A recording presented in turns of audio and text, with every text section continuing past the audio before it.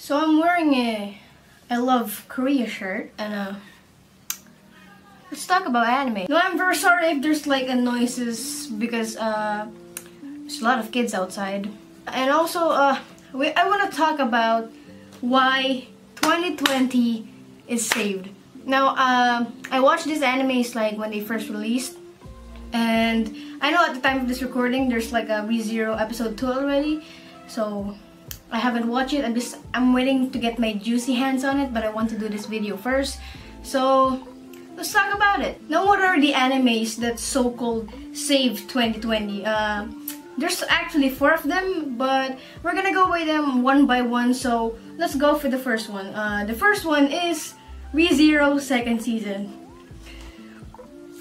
So the first five minutes of the first episode is just a mind blowing because uh, first of all, who's Rem? So I'm not really updated to the light novel. I'm not really that fixated to light novel ad adaptations as well, except for like uh, ReZero and uh, Oregairu. And so this one is, uh, I don't know what's coming. So when I heard Emilia say, who's I, I kind of lost my mind there because like boy, are we doing this again? Now, before all that uh, Who's Rem and those juicy stuff, uh, we got introduced again, like a kind of a recap on uh, what happened in the last episode of the first season.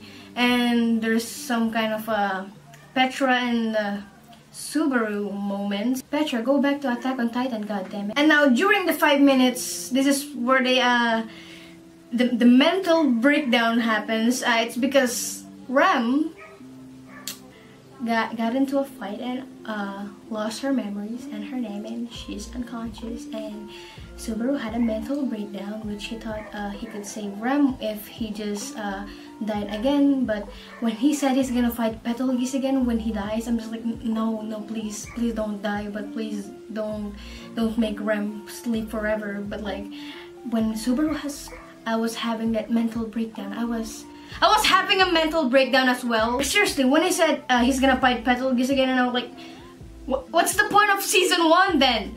Because, you know, when Super is having a mental breakdown, it kind of really felt realistic because when you realize he's gonna get to repeat everything again just to save Rem, and when, by the way, he said he's going, he's willing to repeat all those again just to save her. I, I love it. But by the way, I'm Team Emilia. It's kind of like very rare for someone to say they're Team Emilia, but uh, honestly, I love Team. Uh, I'm like, I love Emilia because uh, Takahashi Rie voicing her. So now seeing Rem disappear probably because she's unconscious for the rest of the season. I'm not sure. Uh, all those six years of wait, I'm not really sure. But that that's six years. I'm just quoting quoting it, but. I am very hyped because I have never been this hyped from a light novel except for Oregairu. And I know, I just know there's gonna be memes again because Subaru equals memes. And we're back at it again with the waifu wars. Also, uh, that one moment, um, I thought I was having a Yuri action between Felice and Crusch, but uh, I forgot Felice is a boy, so I'm, I'm disappointed, but I'm okay, okay. Also, they ended the first episode with Subaru and Emilia's conversation. I, I thought at first that Subaru's actually gonna try to kill himself again. But uh, the ending of the first episode, really good. Now, the next anime is Uzaki-chan wa Asobitai. Now, uh, I, I actually shouted when I first started it because when I was looking through the list and what to watch this season, I think it got delayed. Uh, it's supposed to be coming out uh, in the earlier seasons, but it got delayed. And, I, you know, I've never seen the original source, but I've been feeling like there's gonna be something like uh, Karakai Jozu no Takagi-san and Ijira Naide, uh, Ijira Naide Nagatoro-san, which is, uh, I've never seen Nagatoro-san, but I was actually very excited when it, uh, they had an anime adaptation, which is, I forgot when they will release it, but uh, I'm looking forward to it, but okay, we're talking about Uzaki-chan. I'm kind of surprised they started it with like a time skip already, and it's very rare uh, that they started it not at high school, not at middle school, not, not, not, not at elementary, but they started it at college, which is very interesting because we all know high school anime, and we all know there's gonna be memes. Obviously, there's gonna be memes, especially of the uh, Sugoi Dekai t-shirt, which means amazingly huge. And also it's interesting because it's a senpai and kohai uh, combination, not like the classmate kind of thing, which is not that much of a difference, but I like it.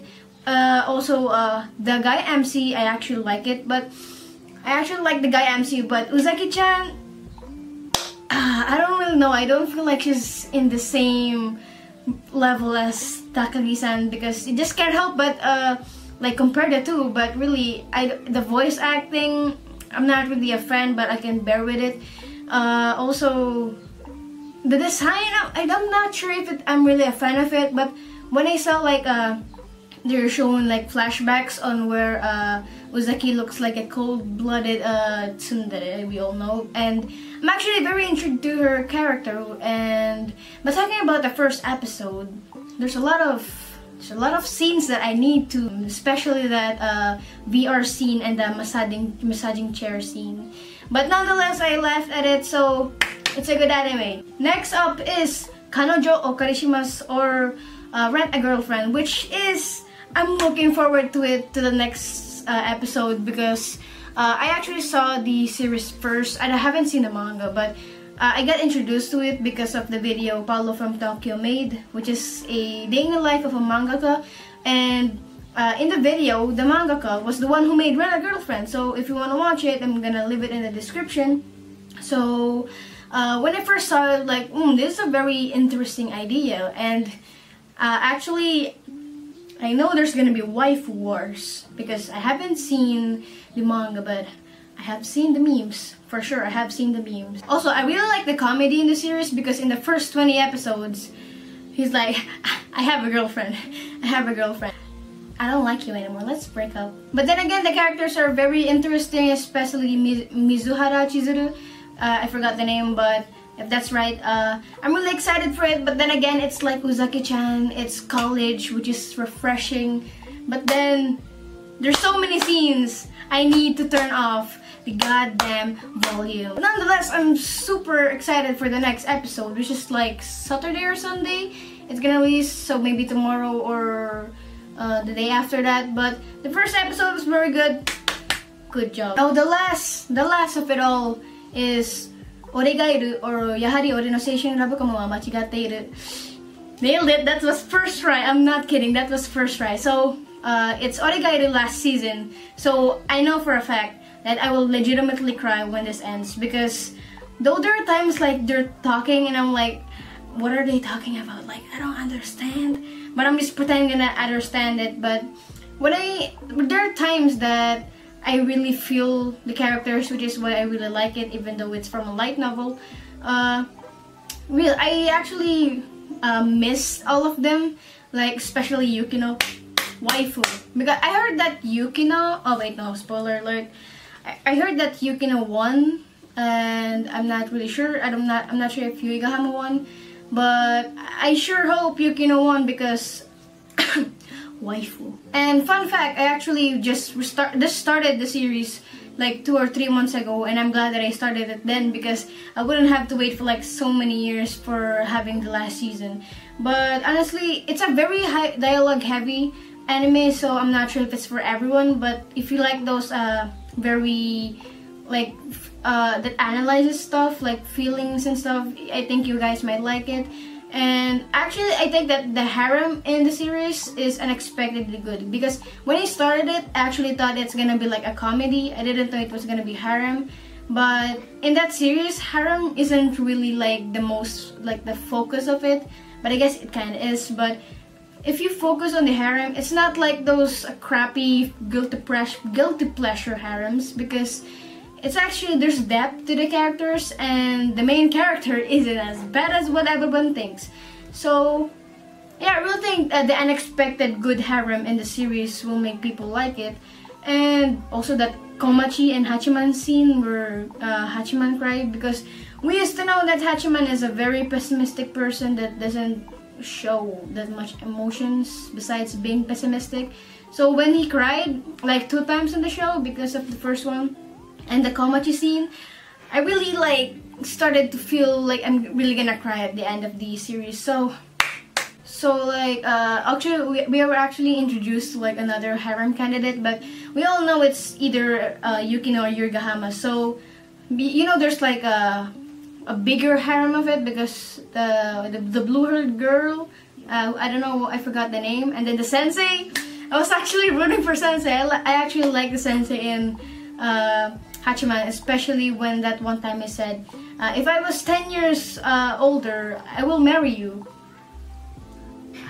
So after watching the the first episode of the last season I absolutely think it's gonna be one of the best anime of the year.